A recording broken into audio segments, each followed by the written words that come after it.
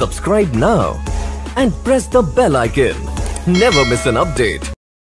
Manipal kitchen ಗ್ರಾಹಕರಿಗೆ ಸ್ವಾಗತ. ಇವತ್ತು ನಾನು ನಿಮಗೆ ಬಿಸಿಬೇಳೆ ಬಾತ್ ಪೌಡರು ಮತ್ತು ಬಿಸಿಬೇಳೆ ಬಾತ್ ಎರಡೂ ಹೇಗೆ ಮಾಡೋದು ಅಂತ ಹೇಳ್ತೀನಿ. ಫಸ್ಟ್ ಪೌಡ್ರ್ ಹೇಗೆ ಮಾಡೋದು ಅಂತ ನೋಡ್ಕೊಳ್ಳೋಣ.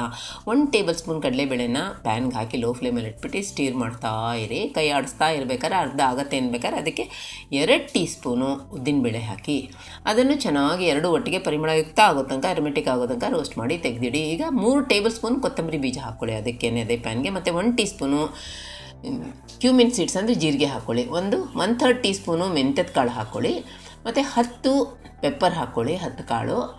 ಎಲ್ಲ ಚೆನ್ನಾಗಿ ಅರೆ ಅರಮೆಟಿಕ್ ಆಗೋ ತನಕ ಚೆನ್ನಾಗಿ ಅದನ್ನು ರೋಸ್ಟ್ ಮಾಡ್ಕೊಳ್ಳಿ ಲೋ ಫ್ಲೇಮಲ್ಲಿ ಇಟ್ಬಿಟ್ಟು.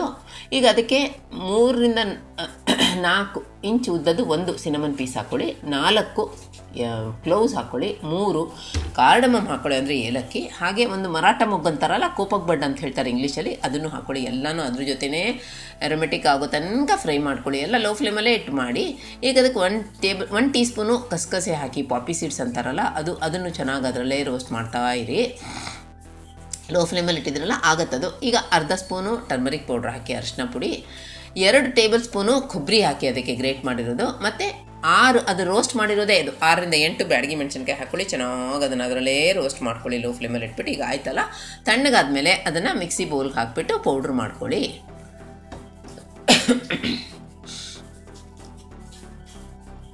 ಈಗ ನೋಡಿ ಲಿಡ್ ಕ್ಲೋಸ್ ಮಾಡಿ ಮೀಡಿಯಮ್ ಕೋರ್ಸಾಗಿ ಪೌಡ್ರ್ ಮಾಡಿ. ಈಗ ನೋಡಿ, ಆಗಿದೆ, ಹೇಗಾಗಿದೆ ನೋಡಿ. ಚೆಕ್ ಮಾಡಿ ಕರೆಕ್ಟಾಗಿದೆಯಾ ಅಂತಂದ್ಬಿಟ್ಟು ಈಗ ಅದಕ್ಕೆ ನಾವು ತರಕಾರಿ ಬೇಯಿಸ್ಕೊಳ್ಳೋಣ, ಬೇಳೆ ಮತ್ತು ತರಕಾರಿ. ಒನ್ ಥರ್ಡ್ ಕಪ್ಪು ತೊಗರಿಬೇಳೆ ನೆನೆಸಿರೋದನ್ನು ಹಾಕ್ಕೊಳ್ಳಿ ಕುಕ್ಕರಿಗೆ ಮತ್ತು one fourth cup Sona Masoori ಅಕ್ಕಿ ಹಾಕ್ಕೊಳ್ಳಿ ವಾಶ್ ಮಾಡಿ ಇಟ್ಟಿದ್ದೀನಿ. ಒನ್ ಥರ್ಡ್ ಟೀ ಸ್ಪೂನು ಅರಿಶಿನ ಪುಡಿ ಹಾಕ್ಕೊಳ್ಳಿ ಒಂದು ಟೀ ಸ್ಪೂನು ಕುಕ್ಕಿಂಗ್ ಆಯಿಲ್ ಹಾಕ್ಕೊಳ್ಳಿ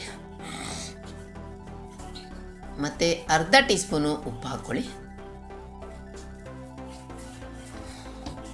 ಕ್ಯಾರೆಟ್ ಹಾಕೊಳ್ಳಿ, ಅರ್ಧ ಕಪ್ಪು ಕಟ್ ಮಾಡಿರೋದು. ಅರ್ಧ ಕಪ್ಪು ಬೀನ್ಸ್ ಹಾಕೊಳ್ಳಿ. ಮತ್ತು ಟೂ ಥರ್ಡ್ ಕಪ್ಪು ನವಿಲ್ಕೋಸ್ ಹಾಕ್ಕೊಳ್ಳಿ ನೂಲ್ಕೋಲ್ ಅಂತ ಹೇಳ್ತಾರಲ್ಲ ಚಾಪ್ ಮಾಡಿರೋದು.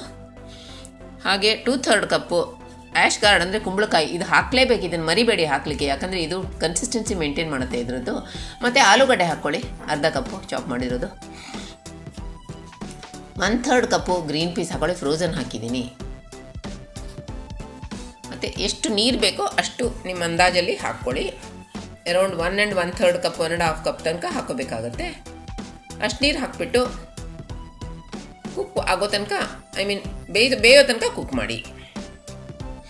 ಇವಾಗ ನೋಡಿ ಹತ್ತು ಹನ್ನೆರಡು ನಿಮಿಷ ಆಗಿದೆ. ನೋಡಿ ಇವಾಗ ಪ್ರೆಷರ್ ರಿಲೀಸ್ ಆಯಿತು. ಇವಾಗ ನೋಡಿ ಚೆನ್ನಾಗಿ ಕುಕ್ ಆಗಿ ಬಂದಿದೆ ನೋಡಿದ್ರಲ್ಲ? ಈಗ ನೋಡಿ ತೋರಿಸ್ತಾ ಇದ್ದೀನಿ. ಎಷ್ಟು ಕರೆಕ್ಟಾಗಿ ಓವರ್ ಕುಕ್ ಆಗಿಲ್ಲ. ಓವರ್ ಕುಕ್ ಮಾಡಬಾರ್ದು ಯಾವತ್ತು ನೋಡಿ, ಎಷ್ಟು ಚೆನ್ನಾಗಿ ಕುಕ್ ಆಗಿದೆ. ಈಗ ನಾವು ಬಿಸಿಬೇಳೆ ಭಾತ್ ತಯಾರು ಮಾಡೋಣ. ಒಗ್ಗರಣೆ ಹಾಕೋಣ. ಎರಡು ಟೇಬಲ್ ಸ್ಪೂನು ತುಪ್ಪನ ಹಾಕ್ಕೊಳ್ಳಿ ಲೋ ಫ್ಲೇಮಲ್ಲಿ ಅದು ಕಾಯಿಸ್ಲು ಅದಕ್ಕೆ ಒಂದು ಟೀ ಸ್ಪೂನು ಸಾಸಿವೆ ಕಾಳು ಹಾಕ್ಕೊಳ್ಳಿ ಒಂದು ಟೀ ಸ್ಪೂನು ಉದ್ದಿನಬೇಳೆ ಹಾಕ್ಕೊಳ್ಳಿ ಇದು ಚಟಪಟ ಅನ್ನತ್ತೆ, ಮತ್ತು ಅದು ಚೆನ್ನಾಗಿ ಇದಾಗುತ್ತೆ, ಬೇ ಫ್ರೈ ಆಗುತ್ತೆ. ನೋಡಿ, ಆಗ್ತಾ ಇದೆ, ಹೌದಾ? ಈಗ ಅದಕ್ಕೆ ಬ್ಯಾಡಗಿ ಮೆಣಸಿನ್ಕಾಯಿ ಎರಡು ತುಂಡು ಮಾಡಿರೋದು ಹಾಕ್ಕೊಳ್ಳಿ ಕರ್ಬೇವಿನ ಸೊಪ್ಪು ಸ್ವಲ್ಪ ಹಾಕ್ಕೊಳ್ಳಿ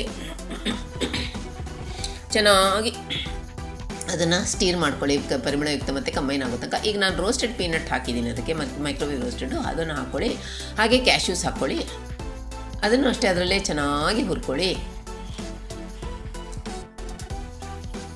ಈಗ ಅರ್ಧ ಕಪ್ಪು ಕಟ್ ಮಾಡಿರೋ ಆನಿಯನ್ ಹಾಕ್ಕೊಳ್ಳಿ one third teaspoon turmeric powder ಹಾಕ್ಕೊಳ್ಳಿ ಅರಿಶಿನ ಉಪ್ಪು ಹಾಕ್ಕೊಳ್ಳಿ ಹಾಗೆ ಚೆನ್ನಾಗಿ ಅದನ್ನು ಆನಿಯನ್ನು ಟ್ರಾನ್ಸ್ಲೂಸೆಂಟ್ ಆಗೋ ತನಕ ಫ್ರೈ ಮಾಡ್ಕೊಳ್ಳಿ. ನೋಡಿ, ಇವಾಗ ಆಗ್ತಾ ಬಂತು, ಆಗಿದೆ. ಈಗ ಅದಕ್ಕೆ ಟೊಮೆಟೊ ಹಾಕೊಳ್ಳಿ. ಅರ್ಧ ಕಪ್ ಚಾಪ್ ಮಾಡಿರೋದು. ಮತ್ತು ಟೂ ಥರ್ಡ್ ಕಪ್ಪು ಕ್ಯಾಪ್ಸಿಕಮ್ ಸಪೂರ ಕಟ್ ಮಾಡಿರೋದು ಹಾಕ್ಬಿಟ್ಟು ಚೆನ್ನಾಗಿ ಅದನ್ನು ಎಲ್ಲ ಒಟ್ಟಿಗೆ ಇದು ಮಸಿ ಆಗಬೇಕು. ಅದು ಸ್ವಲ್ಪ ಕುಕ್ ಆಗೋ ತನಕ ಮಾಡ್ಕೊಳ್ಳಿ. ಈಗ ನಾವು ಕುಕ್ ಮಾಡಿಟ್ಟಿದ್ದೀವಲ್ಲ, ಅದಾಗಿದೆ. ಈಗ ಕುಕ್ ಮಾಡಿಟ್ಟಿದ್ದೀವಲ್ಲ, ಆ ದಾಲ್ ಮತ್ತು ರೈಸ್ ಮಿಕ್ಸ್ ವೆಜಿಟೇಬಲ್ ಮಿಕ್ಸ್ ಹಾಕ್ಕೊಳ್ಳಿ. ಅದಕ್ಕೆ ಎರಡರಿಂದ ಮೂರು ಟೀ ಸ್ಪೂನು ಟ್ಯಾಮ್ರನ್ ಜ್ಯೂಸ್ ಹಾಕ್ಕೊಳ್ಳಿ. ತುಂಬ ಸ್ಟ್ರಾಂಗ್ ಇಲ್ಲ ಅದು ಲೈಟಾಗಿ ಹಾಕಿದ್ದೀನಿ. ಮತ್ತು ನಾವು ಮಾಡಿಟ್ಟಿದ್ವಲ್ಲ ಪೌಡ್ರು ಅದನ್ನು ನಾಲ್ಕು ಟೀ ಸ್ಪೂನ್ ಹಾಕ್ಕೊಳ್ಳಿ. ಮೂರಿಂದ ನಾಲ್ಕು ಟೀ ಸ್ಪೂನ್ ಹಾಕ್ಕೊಳ್ಳಿ. ಮತ್ತು ಒಂದು ಸ್ವಲ್ಪ ನೀರು ಹಾಕ್ಕೊಳ್ಳಿ. ಆ್ಯಡ್ ವಾಟರ್ ಅಡ್ ಮಿಕ್ಸ್ ಮಾಡ್ಕೊಳ್ಳಿ ಫಸ್ಟು ಆಮೇಲೆ ಸ್ವಲ್ಪ ನೀರು ಹಾಕ್ಕೊಂಡು ಕನ್ಸಿಸ್ಟೆನ್ಸಿ ಅಡ್ಜಸ್ಟ್ ಮಾಡ್ಕೊಳ್ಳಿ. ಎಲ್ಲನೂ ಚೆನ್ನಾಗಿ ಮಿಕ್ಸ್ ಮಾಡಿ. ಅದೆಲ್ಲ ಮಿಕ್ಸ್ ಆಗಿ ಫ್ಲೇವರ್ಸ್ ಎಲ್ಲ ಅಬ್ಸಾರ್ಬ್ ಆಗಬೇಕು. ಅಷ್ಟು ಚೆನ್ನಾಗಿ ಮಿಕ್ಸ್ ಮಾಡ್ಕೊಳ್ಳಿ. ಇವಾಗ ನೋಡಿ, ಎಷ್ಟು ಚೆನ್ನಾಗಿ ಫ್ಲೇವರ್ಸ್ ಅಬ್ಸಾರ್ಬ್ ಆಗಿ ಕಲರ್ ನೋಡಿ, ಎಷ್ಟು ಚೆನ್ನಾಗಿ ಬಂತು, ಹೌದಾ? ಈಗ ನಿಮಗೆ ready yummy bisibele bath ready ಆಯಿತು.